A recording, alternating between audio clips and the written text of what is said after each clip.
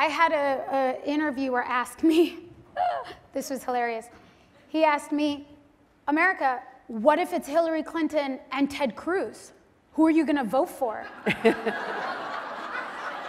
was like, hold on, wait, I'm so confused right now. oh, because I'm Latina and I'm a woman. Oh, I would only, well, you as a white man, how do you decide who to vote for? Because you have people to choose from.